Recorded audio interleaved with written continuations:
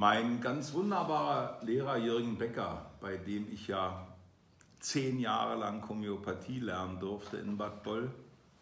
Ich habe damals jedes Jahr vier Wochen in Bad Boll verbracht. Immer zwei Kurse, a einer Woche mit Jürgen gemacht als Teilnehmer und Gruppenleiter. Und zwei Kurse habe ich dann selbst mitgeleitet, meistens mit Reinhold Tögel habe ich ja das gelernt, was ich eigentlich bis heute mache, prozessorientierte Homöopathie, damals halt noch ohne Testung. Und der Jürgen ist ja dann später weitergegangen. Aus seiner Begegnung mit Witold Erler war ja Jürgen einer der großen Mitentwickler und Populari, Populari, ah, Bekanntmacher der C4-Homöopathie. Es gibt sogar ein Buch von Jürgen Becker über C4-Homöopathie, was sehr zu empfehlen ist. Und der Jürgen Becker hat mir mal über Schlangen folgenden Satz beigebracht. Jede Schlange ist einer Geografie zugeordnet. Und für Südamerika steht die Lachesis, die Sulukuku. Für Nordamerika steht die Crotalus horridus, die Klapperschlange. Für den asiatischen Raum steht die Naya, die wir an diesem Wochenende auch noch besprechen. Und für den europäischen Raum steht die Vipera berus, die Kreuzotter. Also wenn ihr bei einem Menschen eine Schlangenproblematik seht, dieser Mensch aber in einem europäischen Kontext lebt, selbst wenn er vielleicht viele Lachesis-Symptome hat, immer beim Testen Lache, äh, Viperaberus mit in den Testchart hineinnehmen, weil, wie schon gesagt, Erfahrung von Jürgen Becker, viele Menschen, die in Europa Lachesis kriegen und es wirkt nicht, brauchten eigentlich Viperaberus, die europäische Schlange.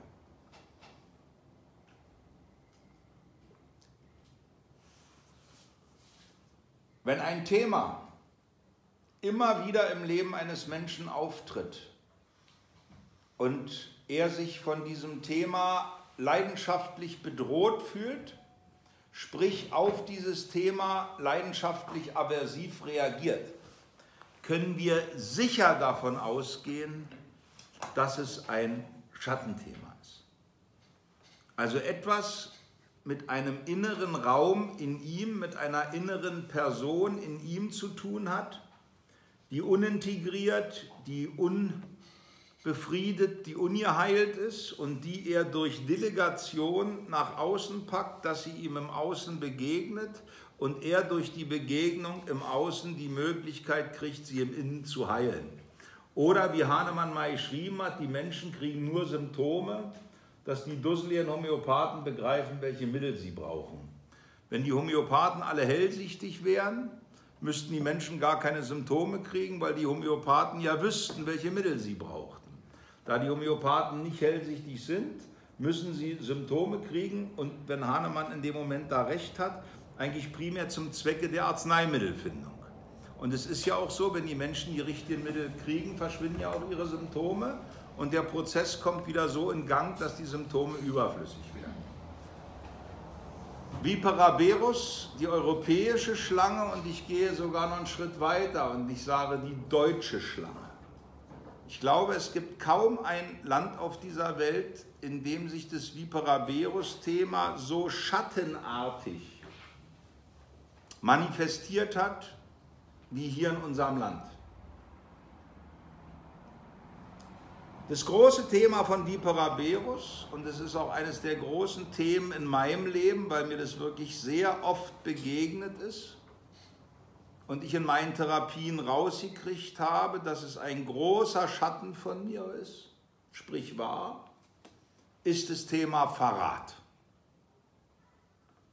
Ich glaube, es gibt kaum ein Volk auf diesem Planeten, wo sich so viele Menschen verraten fühlen, leidenschaftlich aversiv auf Verräter und das Thema Verrat reagieren, sprich das Thema Verrat unwillkürlich ständig mit im Feld ist. Ich habe zusammen mit meiner Mutter, aber nur von der letzten Staffel und da auch nur die letzten zwei Folgen, diese Serie Weißen See sehen. Ich würde sagen, absolut wie Piraberus durch und durch. Mehr wie Piraberus gibt es gar nicht. Der große Viperaberus-Film an sich ist das Leben der anderen. Der ist super Viperaberus. Das Irre ist, dass es auf diesen Film völlig unterschiedliche Resonanzen gab. Völlig. Einmal Menschen, die sagen, du, eins zu eins, so habe ich es erlebt. Ich habe das alles so erlebt. Ich war da drin. Ich, mir ist das alles passiert. Gut dargestellt, gut dargestellt. Alle Seiten gut dargestellt. Die Kapitalisten, die da abgezockt haben, die Genossen, die ihr eigenes Land verraten haben und die Daten an die Banken weitergegeben haben, die Genossen, die ihr Stasi-Geld in Sicherheit gebracht haben. Alles eins zu eins stimmt. Und dann bei Menschen, die ich liebe, bei Menschen, die ich schätze, bei Menschen, denen ich auch eine hohe Reflexionsstelle unterstelle. Da habe ich nur angedeutet, dass ich diesen Film gesehen habe. Da habe ich nur angedeutet, dass mich dieser Film berührt hat und sofort kam, sowas gucke ich mir überhaupt nicht an, das ist alles nur Lüge, damit will man alle Ostler zu Tätern machen. Sag mal, hallo, hallo, hallo. Da waren doch aber die Ostler ganz oft Opfer. Nein! Oh, ich dachte, hallo, ich habe doch hier gerade nur einen Film erwähnt. Mehr habe ich doch gar nicht gesagt. Was passiert denn hier? Also da habe ich leidenschaftlich aversive Ablehnung erlebt und begriffen, was das bedeutet, wenn es etwas in einem Menschen nicht geben darf. Wie Paraberus ist das Mittel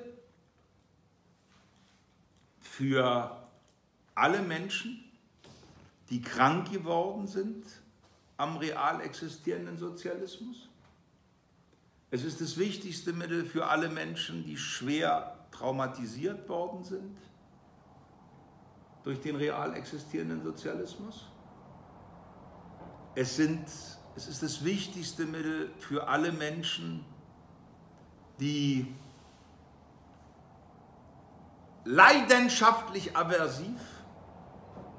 Alle Fakten, die heute über die DDR hochkommen, ablehnen, als Propaganda und Lüge abtun. Und es ist ganz speziell alle Menschen, die Schlimmes und Schweres durch die Stasi erlitten haben. Es ist das Stasi-Mittel. Es ist aber auch das wichtigste Mittel für Menschen, die selbst bei der Stasi waren und darunter wahnsinnig leiden, was sie getan haben, oder es leidenschaftlich verklären. Also wir haben bei Viperaberus wirklich beide Seiten der Medaille, wie wir das ja ganz oft in der Homöopathie haben. Wir haben eine Opferseite und eine Täterseite, aber beides ist ja immer nur die Kehrseite der Medaille.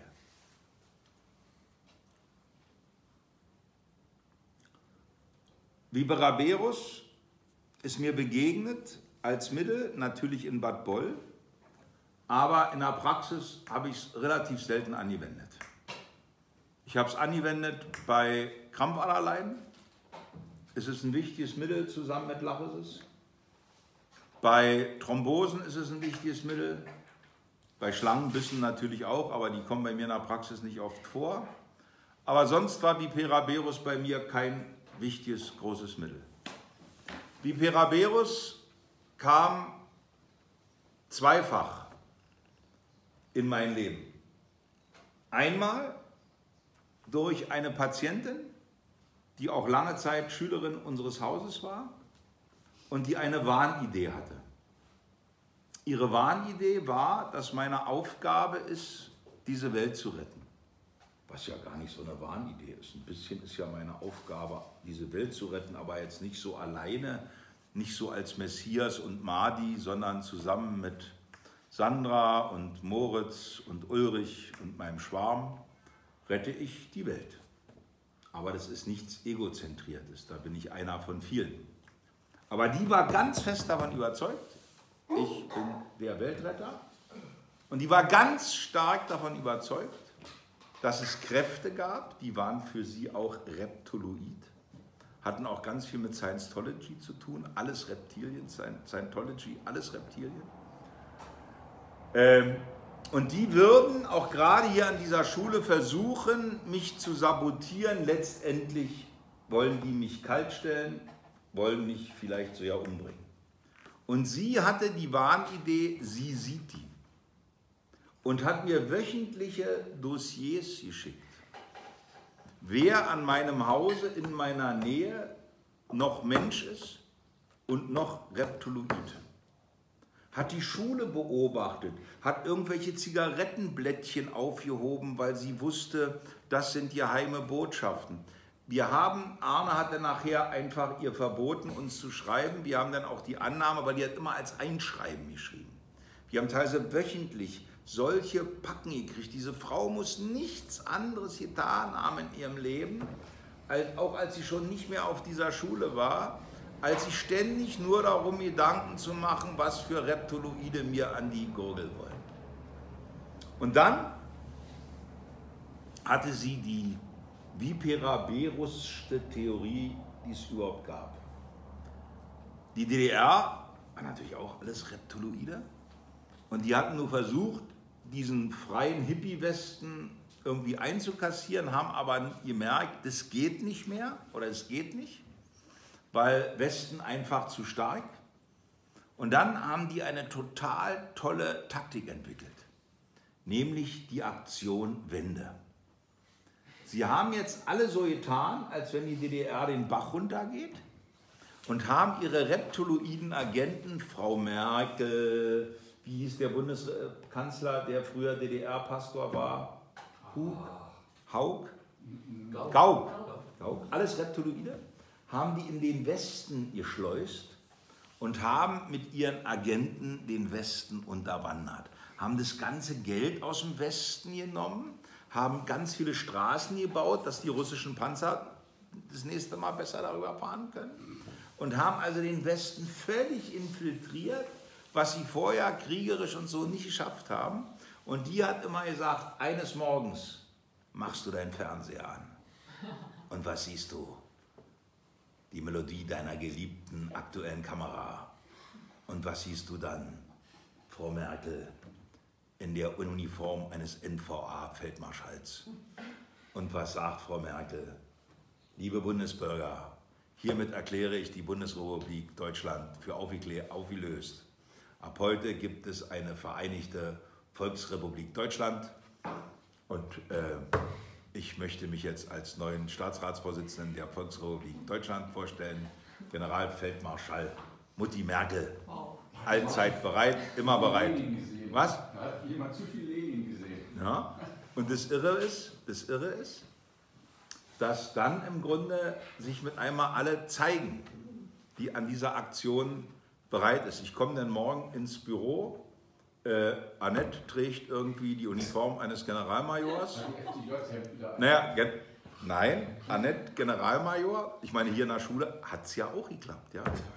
Hier in der Schule, wir sind ja völlig unterwandert. Ja? Wir sind ja völlig unterwandert. Ja? Ich bin mir noch nicht klar über Ulrichs Dienstgrad. Ja? Da müssen wir auch noch mal gucken. Ja?